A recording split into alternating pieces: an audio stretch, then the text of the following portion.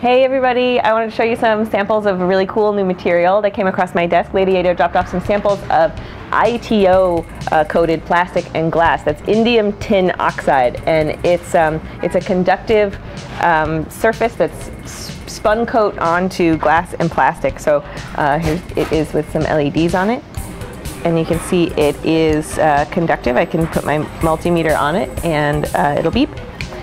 And so what I did to put some LEDs on it, like this transparent strip, is I, I cut a, a, channel in the surface to sort of like scrape through the coating with a, a, knife and a ruler. And then I glued these LEDs on with some conductive ink uh, to go to the positive and negative sides. Um, and so I just wanted to show you these cool samples. We're going to try to get it in the shop and um, have a nice weekend.